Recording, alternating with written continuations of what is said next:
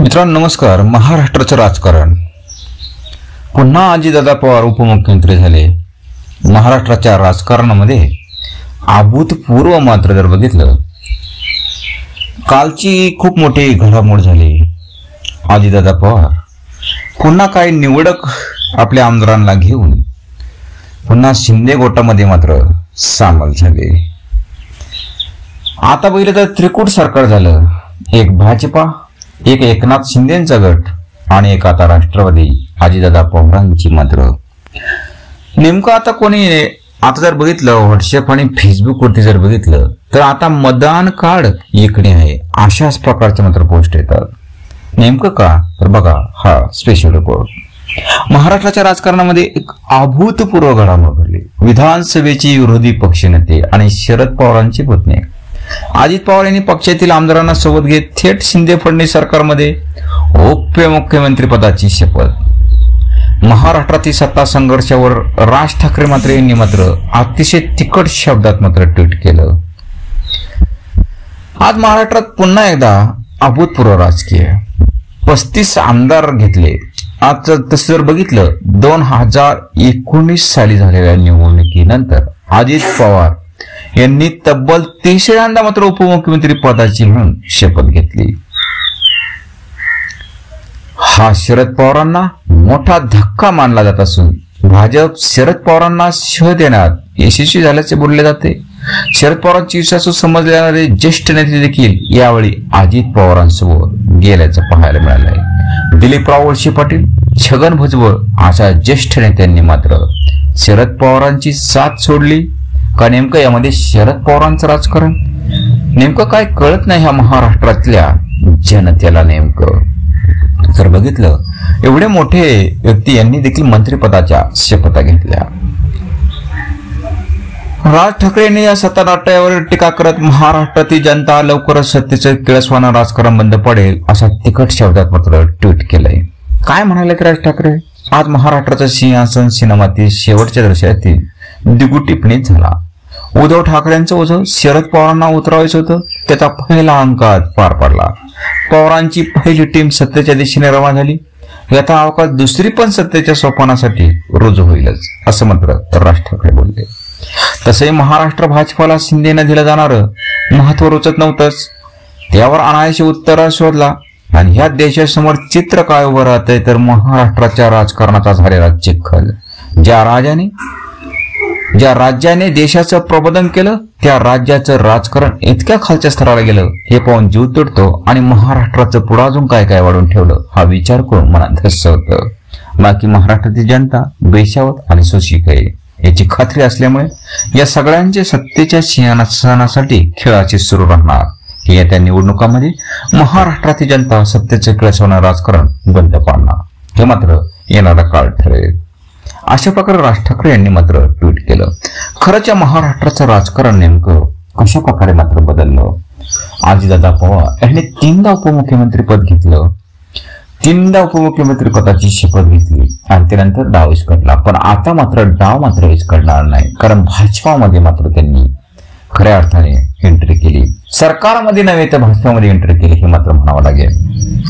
तर येणारा काळच मात्र हे त्रिकूट सरकार नेमकं कुठपर्यंत मात्र चाल वाटचाल करणार आणि कशा प्रकारे या महाराष्ट्राचा विकास करण्यावरती भर देईल हा मात्र यावर काळ ठरवेल. मग नेमकं जे कार्यकर्ते असतात ज्यावेळेस यांची वरती भांडणं होतात मग हे खाली का टकोरी फोडून घेतात मी ह्या पक्षाचा मी त्या पक्षाचा मी भाजपाचा मी राष्ट्रवादीचा मी शिवसेनेचा. आणि नंतर हे मोठमोठ्या भाषणामध्ये वक्तव्य करणार आणि त्यानंतर मात्र कार्यकर्त्यांमध्ये मात्र झुंडीच्या झुंडी एकमेकावरती तुटून पडतात. एकमेकांची डोकी फोडतात आणि जेलमध्ये सुरू जातात. यांच्या पायी आणि नंतर हेच मात्र एकत्र होतात. मग नेमकं कार्यकर्त्यांनी यामधून शिकणं खूप जरुरी. काय शिकणं ह्यासाठीच मी हा संपूर्ण लेख मात्र मी योगेश तुम्हाला संशोधन करतोय. कार्यकर्त्यांनी यामधून शिकणं खूप जरुरी जरूर तुम्ही कोणत्या पक्षाचे आहात त्या पक्षांची बांधिलकी जरूर राहा. पण इतका बी बांधिलकी राहू नका त्यामधून आपला संसाराची फरफटत होईल. आणि आपण जेलमध्ये जाऊ आणि आपली बायका मुलं आपल्या आईवडील उपाशी मरतील. आणि काही काहींचं करिअर देखील असतं. एखादी जर केस लागली तर संपूर्ण करिअर बर्बाद होईल. कोण कोण तुम्हाला हे करेल? बस थोडे दिवस ज्या वेळेस निवडणुका येतात तोंडावरती. त्यावेळेस तुम्हाला जपतात दारू पाजतात संपूर्ण हे करतात. पण त्याच्यानंतर काय? पुढे साडेचार वर्ष काय? जवळपास सहा महिने तुम्हाला त्यांच्यापासून खायला भेटतं प्यायला भेटतं पण त्याच्यातून काय? स्वाभिमानी बना. बनलं पाहिजे. का अशासाठी नेमकं आम्ही त्यांच्यासाठी आम्ही आमची डोके फुटून घ्यायची? हा बी आहे मधून एक संदेश मात्र. ह्या कालच्या राजकारणामधून मिळायला भेटतोय बघितलं पाहिजे आपण बी. आम्ही यांच्यासाठी मतदान करतो आम्ही त्यांच्यासाठी मतदान करतो आम्ही ह्या पक्षाचे कार्यकर्ते. परंतु हेच पक्षाचे कार्यकर्ते नंतर वरती जाऊन कशा प्रकारे हात मिळवणी करतात आणि सत्तेच्या खुर्चीसाठी आणि आपल्याकडे असणारा घावाळ हे मात्र ओळखीस नको. नको इडी बसायला नको सुडी बसायला काही नको. आणि यासाठी कशा प्रकारे मात्र एकजूट होतात. हे मात्र जर आजच्या राजकारणातून बघायला मिळतं त्यामुळे संपूर्ण देशभरातल्या कार्यकर्त्यांनी मात्र यातून शिकलं पाहिजे. जरूर यांच्यावरती वाढ आली तर आम्ही मात्र आमची डोके मात्र फोडायची नाही. हा मात्र यामधून शिकण्याचा खूप मूलमंत्र आहे. आता मात्र दोन हजार चोवीसच्या निवडणुका येतील. त्यावेळी जरूर तुम्ही कोणत्या पक्ष तुम्हाला जो आवडत असेल त्यामधून जरूर मतदान करा.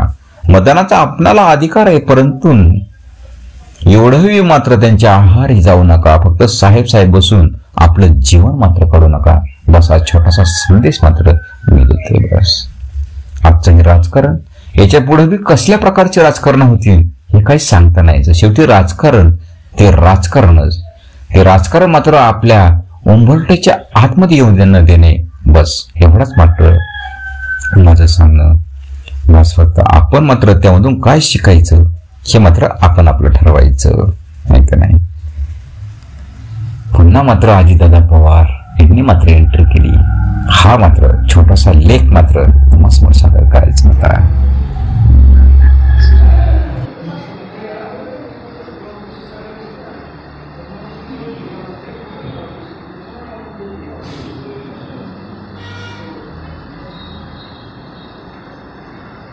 राष्ट्रवादी काँग्रेसची युती होणं शक्यच नाही. नाही नाही नाही. आपण धर्म नाही शाश्वत धर्म नाही कुठलाही धर्म नाही. एक वेळ रिक्त राहू एक वेळ सत्तेशिवाय राहू एक वेळ मला कोणीतरी विचारलं तुमचा विवाह होणार आहे का? मी म्हटलं अविवाहित राहणं पसंत करीन. पण